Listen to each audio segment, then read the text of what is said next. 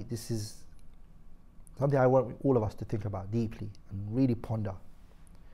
The Prophet told us, sallallahu alayhi wasallam, in a hadith, من عمل على شيء مات عليه ومن مات على شيء بعث عليه أو كما قال عليه الصلاة والسلام that whoever lives their life a certain way they will die in that way and anyone who dies in the way that they die they will be resurrected Yawm al-Qiyamah in that way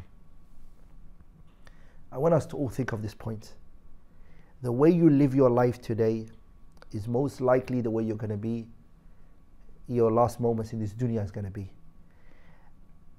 And also, the way you're going to be resurrected is the way that you died.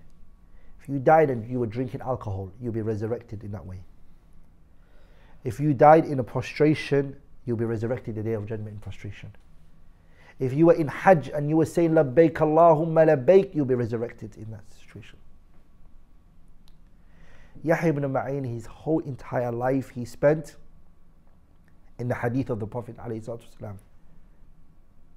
They placed his body in the place where the Prophet ﷺ was washed. And they carried him. Imagine that. All his life he lived serving the sunnah of the Prophet ﷺ and he finished his last days being in the position of where the Prophet ﷺ's body was washed. And then he was taken to his grave and they prayed yani, uh, the salah on him uh, on a Friday and he was buried uh, in that, on that day in Dhul Qa'dah.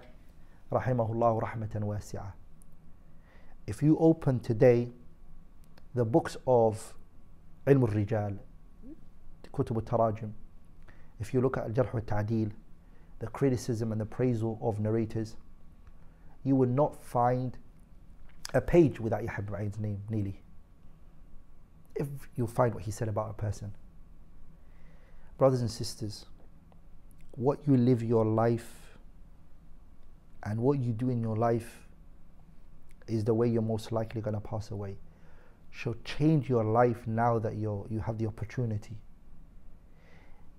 You won't be remembered because you uh, you were rich, or you won't be remembered because you uh, you're from a big family, or you've what you'll be remembered for is your knowledge and the legacy you left behind.